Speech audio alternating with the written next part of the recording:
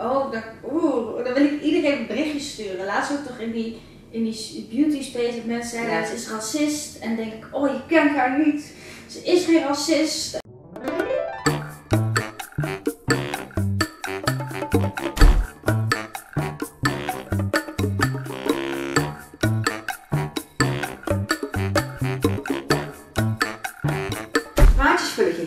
Mensen denken alles te weten. Ze kunnen beter van je lullen als van je vreten. Welkom bij Lullen met Mies. En vandaag is mijn dochter hier op de bank. Op de bank, heel verrassend, op mijn eigen bank. Ja, zo de ene week heb ik eh, jouw eigen bank, ja. Ja, het is mijn eigen bank. Ik zit op mijn eigen bank, maar we doen of het heel wat is. De ene week bekend en de andere week onbekend. En voor jullie is zij onbekend, maar voor mij is ze heel bekend. En ik denk dat er geen betere gast kan zijn als een onbekende om te vertellen hoe het is om met zo'n moeder te leven. Ja, ja, dat kan niemand anders doen. Nee. Dus vandaar welkom Maya. Nou, dank- dankjewel, dankjewel. Nou, eh, we gaan beginnen bij het begin. Oké. Hoe voelt het als je moeder 17, 18 jaar ouder is? Hoe dat voelt? Nou, dat, eh, ik vind het niet raar voelen. Ik vind dat doordat jij zo dicht bij mij staat of zo, dat ik heel anders naar de mensen kijk. Snap je een beetje? Nee, ja. Niks is vreemd. Nee, niks is vreemd. Zoals ik laatst al zei, als we een derde titel willen nemen, dan moet je dat zelf weten. Want als jij gelukkig bent, dan vind ik het allemaal goed. Maar als jong meisje had je daar moeite mee? Dat je jonger was? Toen, ik, toen, ik jong, toen jij jonger was. Dat jij jonger was dan de normale. Anders. Ja, nou ja. Vroeger had ik er wel moeite mee ja, dat het anders was dan de andere. Ik kan niet vergelijken. Mijn leven is natuurlijk compleet anders dan een standaard gezin. Ja, bij ons is het altijd een beetje anders. Maar laat maar zeggen, op school, ben je er wel eens mee gepest? Eh, nee, zover ik weet eigenlijk niet. Nee, nee, eigenlijk ik krijg nooit echt negatieve berichten van mensen die naar mij toe komen en zeggen: of je moet echt kutwijf. Of zo. Of echt, eh, ziet er echt naakt uit. Nee, nog nooit gehad. Dat is eigenlijk alleen maar, Positief. maar via internet wel. Via internet wel. Ja. Maar toen je dan zeggen, we gaan bij het begin beginnen. Toen jij ehm, heel klein was, ik denk een jaar of drie, vier. Toen, ja, nou drie, zeggen, stonden wij daar, stond er eigenlijk alleen met jou voor, toch? Ja. Maar ja, maar ik was zelf ook nog een kind en ik hield heel veel van stappen. Toen ben je eigenlijk een beetje veel bij oma terechtgekomen. Vind je het erg? Nee, ik vind het niet erg. Want oma die, ja, die bieden toen, en misschien nog steeds wel een bepaalde stabiliteit die jij niet hebt. Dus je wil gewoon zeggen dat het niet stabiel was. Nee, maar het is gewoon anders. Kijk, oma is heel huiselijk. Opa en oma. Ze zijn alle twee heel huiselijk, waar jij gewoon je lekker je eigen ding doet. Vind je mij niet huiselijk? Nou, anders huiselijk. Maar leg uit. Nou oké, als ik thuis kom van school, dan zeg je niet Heel veel dag maar. Kom laten we het even over hebben. Wat zeg ik dan? Ja, anders. Hoe is het? Ja, goed met jou. Of is je dag? Ja, oké, ja, maar ook. Zo'n beetje. Ja. Ja, zo'n beetje. Of eh, zondag als ik gesport heb of zo, dan zeg ik niet dat je vraagt van hoe was de wedstrijd. Nee, ik moet me weinig. Ja, ik eh, ben beton dus ik kunstsport. dat ja, maar dat is anders. Snap je? Weet Ja. je wat ik bedoel? Ja, ja. En oma die, die vult die gaatjes, laat maar zeggen. En die andere gaatjes die zij dan weer niet vult, die vult jij. Vul jij. Dus, maar als jong meisje was je dus best wel veel bij oma. Ja. Nu nog steeds als oud meisje, maar dat is aanwenning. Dan heb je dat, heb je dat, dat heb je niet als erg bezwa- eh, gezien. Nou, het was niet dat ik het erg vond dat. eh, nou ja, het was gewoon meer dat het, ik het erg vond dat het niet zo was zoals het hoorde te zijn in mijn beeld. Kijk, ik had geen vader en geen moeder en geen hond en geen broer en zus. Het ideale. Ja. Snap je wat ik bedoel? Ja. Hoe iedereen dat voor elkaar ziet. En bij mij was het. En ik had geen dat en ik had geen dat. Ik wou, ja, eigenlijk, ja, eigenlijk als je jong bent. Ik zeg niet dat bij iedereen zo is, maar ik denk dat het wel de verantwoording voor een klein kindje. Ja, dat is gewoon veel. Dat is gewoon veel. Maar ik heb het je ook nooit kwalijk genomen hoor. En nou, laat maar zeggen, zie, dan zie je mij of op een, zoals nu YouTube en Ja. televisie en zo. En er worden best wel soms heel vaak neg- negatieve dingen van over mij gezegd. Oh, dat vind ik, vind ik, niet, vind ik, vind ik niet fijn hoor. Daar word ik heel dat angstig. Ja, heel van. Oh, Ja? oh dat, oeh, dan wil ik iedereen een berichtje sturen. Laatst ook toch in die, in die beauty space dat mensen zeiden Ja. ze is racist. En denk ik, oh je kent haar niet. Ze is geen racist. En dan, Ja, dat heb je dus. dat vind ik heel moeilijk. Ja, Oh, ik vind dat helemaal niet moeilijk. Nee, maar oeh. dat Weet kan je mensen die me niet kennen, toch, daar moet je maling aan hebben. Daar heb ik toch scheid aan. En jij kan ook, maar jij bent ook ouder? En jij hebt meer ervaring daarin. Ja. En ze zeggen het over jou en niet over mij. Snap je wat ik bedoel? Ja. Misschien als ze het over mij zouden zeggen, dat je het ook moeilijker zou vinden. Dat is een puntje, maar ja, dat is een puntje. Ja, daar kan je wel eens gelijk in hebben. Kijk, als mensen 88 mensen over mijn wenkbrauw klagen, ik het ook goed incasseren. Ja, dat heb ik ook nog een lelijke wenkbrauw. Ja, ah, nee, nee, nee. En het ook nog bij Instagram foto, gebeurde gewoon weer. Ik dacht, mensen, laat mijn wenkbrauw gewoon met rust. Ja, nee, ja, maar dat, dat is tegenwoordig denk ik de media. Iedereen. Ja, maar oh, dat boeit me ook echt voor. ik kreeg vandaag nog een berichtje. Over maar- mijn wenkbrauwen? Nee, over Mies, Mies, wat ben je lelijk.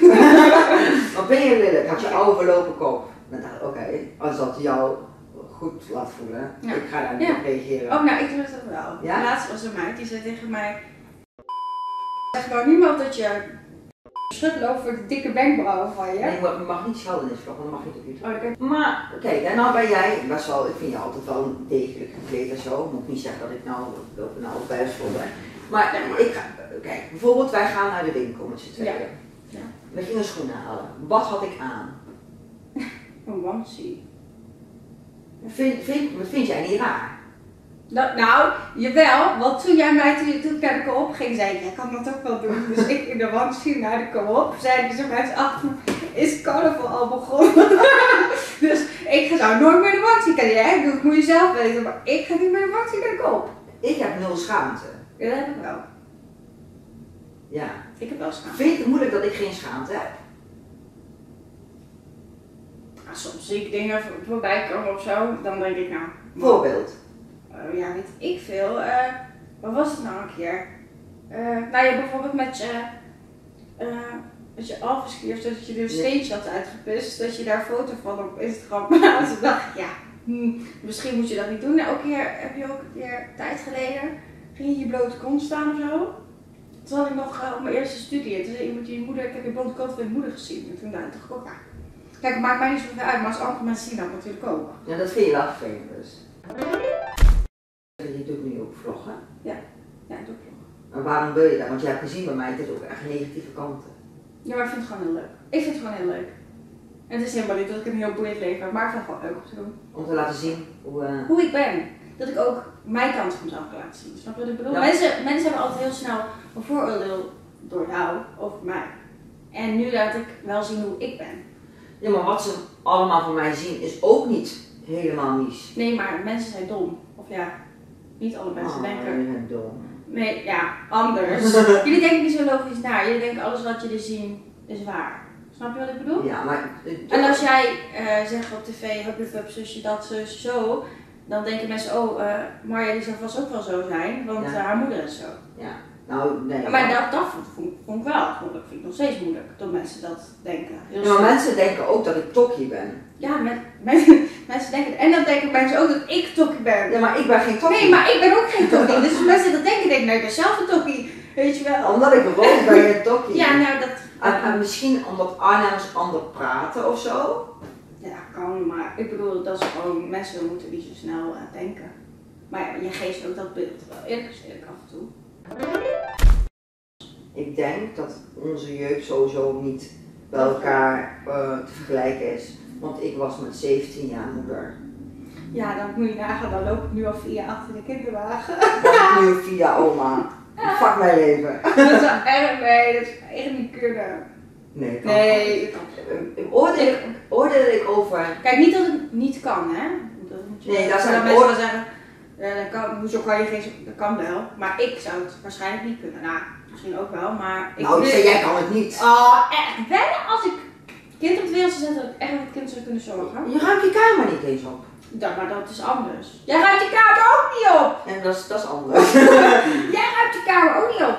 Nee, maar het is niet, het zou wel kunnen, maar ik zou het absoluut niet willen. ik zou ook niet willen dat jij een kind krijgt, want dan word ik oma. Ja, maar dat wil je alleen omdat je dan zelf het gevoel dat je oud wordt. Ja, dus, dat is iets wat ik... Dat is een gevoelskwestie. Dus als ik ooit echt, echt 25 ben, is ik ben zwanger, oh, oma. Ja, dat kan niet. Dat kan gewoon. Hoezo kan dat niet? Oma was toch ook vroeg? Ja, dat moet oma weten. Ja. Ik hoef geen oma te worden. Ja, maar dat moest oma niet weten. Dan kwam jij. Dat kind noemen we gewoon dan Tante Mies. oma bestaat niet. Ah. Tante Mies. Ja. Vind je oma zo uitklinken? Oma? oh. Klinkt dat niet al? Zeg ik, ik noem het maar Michelle. Ja, Ja. Mies. Wies. Dan komen we bij tante Mies. Dat is dat een kind denkt, wat is dit nou? Die snapt er geen kut meer van, Nee. drie jaar. Die, die denkt echt, wat is dit? Nee, dat kunnen we niet doen. Nee, maar jij bent gewoon, ik zie jou niet als moeder, jij bent gewoon perfect. Jij doet alles stabiel, stapje voor stapje. Ik was 17 en ik nam gewoon even een kind. Jij bent er niet helemaal wijs. Nee, nee, dat ben je ook Ik zeg niet. niet dat die mensen niet wijs zijn, maar in mijn situatie was het niet verstandig. Nee, maar meestal, ik ging eigenlijk ook altijd vanuit dat jij mij niet gepland had.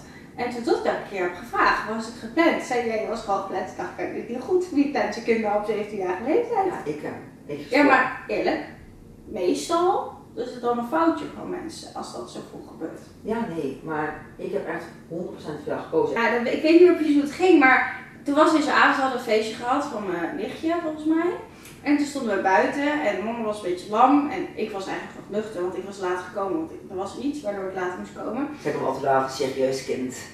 Nee, ik kwam gewoon later. Ik weet niet. Ik, kwam, ik had mijn haar erin laten zetten. Zo was het. Maar ehm, toen, toen kwam ik buiten en zei ze iets van ja, ik hou echt meer van de honden. En die zijn er altijd voorbij. En, en ik dacht, nou, wat de fuck is dit nou? Maar ik bedoel, Hoe kan je nou meer van je honden houden dan van je eigen? Dus ik wilde ik ook verhalen halen. Ik zei, ja luister, je hebt gezegd dat je meer van de houdt. het was niet zo. Het was, Bijntje was heel ziek. En toen dacht ik, oh, als ik Bijntje moet verliezen. Want ik Dat had vind ik daar erger dan als ik Marja kwijt. Nee, nooit. Maar dat was gewoon zo in Bijntje. En dan was ik weer dronken. En dan ging ik tegen jou. En dat kwam heel raar uit. Maar Ja. volgende, heb ik ook gezegd, maar zo is het niet. Nee, dat mag ook wel. Ja, Zeg maar- dat je meer van je hond houdt. Oh, wat zou jij anders doen als jij een kind kreeg? Wat ik bij jou heb gedaan. Hoe zou je het anders aanpakken? Ik snap natuurlijk niet bij mij laten opgroeien. Dat begrijp ik. Maar Dat wou ik zeggen. Maar qua opvoeding, want op, mijn mentaliteit is gewoon leef en doe wat je wil doen. Ik ben geen moeder die streng is in principe. Ik vind me, vind je mij streng? Nee, vind je niet streng, maar ik kan me wel een keer herinneren met Fris of zo. Dat je echt, toen was het echt. Oh ja, nee, maar kijk. Oh, Wacht even, zij is 13 of 14 jaar. 14 was ik. En eh, zij zegt tegen mij, mama, ik ga uit. Wat Nee, zo zei ik het niet. Nou, Die laat even uitpraten, laat me even uitpraten. Ehm, aan de telefoon of zo, en Ja. ging naar fris. Ja. En ik hoorde dat er allemaal tuig kwam.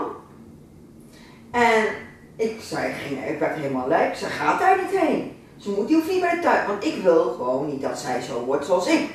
Ja, ja, ja nee, nee. Maar uiteindelijk, hele ruzies met mijn moeder, met Maya. Oké, jij mag naar Fris.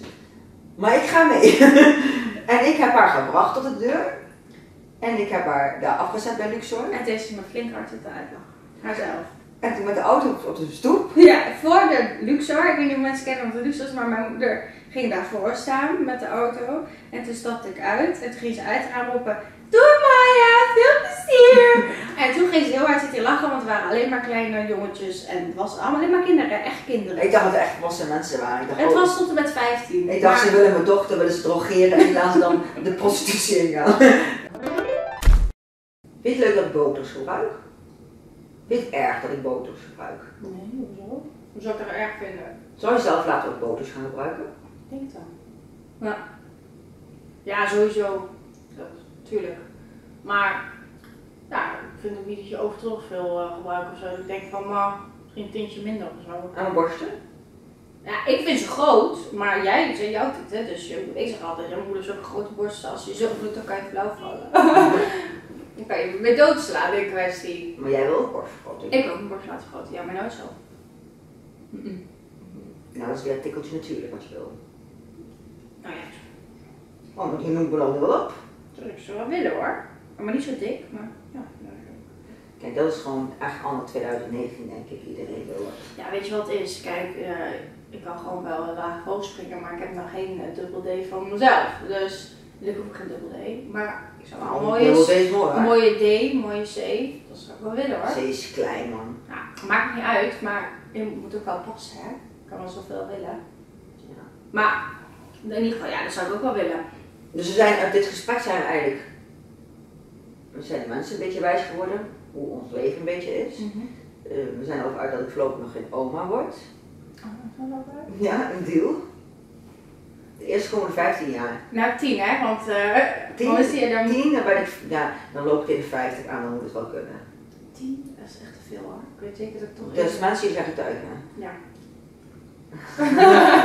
Goed, toch niet. Als je het leuk vindt eh, om mij te volgen, Ja, abonneer. En als je het leuk vindt om nog meer films van moeder te zien, abonneer. En like. Ja, en de volgende week hebben we weer een bekende gast. Wie dat is, hou ik nog even geheim. Hm. En, ehm, En als jullie ideeën hebben voor mensen, zet het onder in de reacties. oh ja, dat is ook een goeie. Kijk, ze heeft er wel verstand van. Nou, ehm, Tot, eh, tot de volgende keer. Ik zie jullie vast nog wel. En anders op mijn kanaal. oké, doei!